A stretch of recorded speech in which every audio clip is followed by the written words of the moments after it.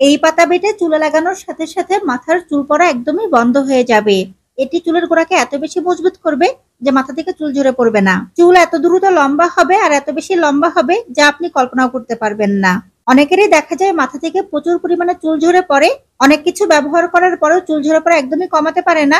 তারা যদি এই রেমেডি ব্যবহার করেন, মাথার চুল ঝরে পড়া তো বন্ধ হবেই, চুল হবে অনেক বেশি লম্বা। খসখসে ড্যামেজ নিষ্প্রাণ চুল হয়ে যাবে সুপার সিল্কি। চুল হবে অনেক বেশি ঘন, কালো ও মোটা। এই রেমেডি তৈরি করতে এমন কিছু উপাদান ব্যবহার করা হয়েছে যা আমাদের চুলের জন্য খুবই উপকারী। এটি তৈরি করতে প্রথমে আমাদের যে পাতা নিতে হবে, সেই পাতার নাম হচ্ছে কারি পাতা।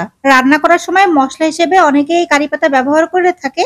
কারি পাতার রয়েছে প্রচুর পরিমাণে ভেষজ গুণাগুণ, যা ব্যবহার করলে চুলের গোড়া অনেক বেশি মজবুত হয়, যার কারণে মাথা থেকে চুল ঝরে পড়ে না। আর এই কারি পাতা চুলকে লম্বা করতেও সাহায্য করে। খসখসে ড্যামেজ চুলকে অনেক বেশি সফট এবং সিল্কি করে তোলে। আজকের এই রেমেডি তৈরি করার জন্য এখানে আমরা বেশ কিছুটা কারি পাতা নিয়ে নিব। সবজির দোকানে অথবা যেসব জায়গায় আমলকি অ্যালোভেরা কিনতে পাওয়া যায়, সেসব জায়গায় আপনারা এই কারি পাতা কিনতে পেয়ে যাবেন। এরপরে এখানে আমরা অ্যাড করে দিব একটি পেঁয়াজ। পেঁয়াজের খোসা ছাড়িয়ে পানি দিয়ে ধুয়ে ছোট ছোট টুকরো করে নেব। এরপর এখানে অ্যাড করে দিব। চুল পড়া বন্ধ করতে এবং মাথায় নতুন করে চুল গজানোর জন্য পেঁয়াজের রস অত্যন্ত কার্যকরী একটি উপাদান। নেক্সট আমরা এখানে অ্যাড করে দিব এক চামচ পরিমাণ কালো জিরা। চুলকে কালো, ঘন, লম্বা করতে যতগুলো উপাদান খুব কার্যকরী, তার ভিতরে কালো জিরা অন্যতম একটি উপাদান। এটি চুলের গোড়াকে অনেক বেশি মজবুত করে, মাথার চুল ঝরে পড়া কমায়। নেক্সট আমরা এখানে অ্যাড করে দিব এক চামচ পরিমাণ মেথি। চুল পড়া বন্ধ করতে, মাথায় নতুন করে চুল গজাতে, রুক্ষ, সূক্ষ্ম, খসখসে ড্যামেজ চুলকে সফট এবং সিল্কি করতে মেথি খুব ভালো কাজ করে। নেক্সট আমরা নিয়ে নিব এক টুকরো অ্যালোভেরা অ্যালোভেরাটাকে ছোট ছোট টুকরো করে কেটে নিব আর এখানে অ্যাড করে দিব। এরপরে এই সবগুলো উপাদান আমরা একটি ব্লেন্ডার জারে নিয়ে নিব। আর ব্লেন্ড করে নিব। উপাদানগুলো ভালো করে ব্লেন্ড হওয়ার জন্য এখানে আমরা অ্যাড করে দিব সামান্য একটু পানি। আমি এই রেমেডি তৈরি করার জন্য এখানে ব্লেন্ডারে ব্লেন্ড করে নিব। তবে আপনারা চাইলে কিন্তু শিল্পাটাই বেটেও নিতে পারবেন। ব্লেন্ড করে নেওয়া মিশ্রণ আমরা একটি পাত্রে ঢেলে নিব।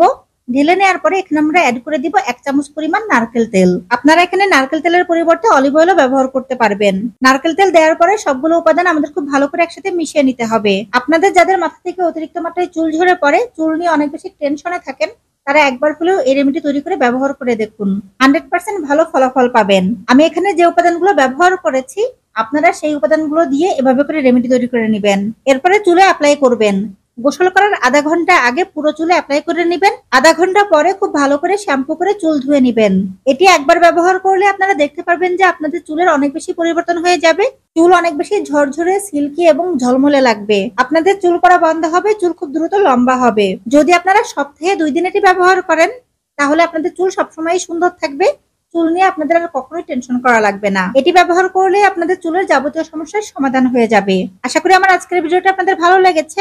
ভালো লাগলে অবশ্যই ভিডিওতে লাইক দিবেন, ভিডিওটি শেয়ার করবেন। ধন্যবাদ।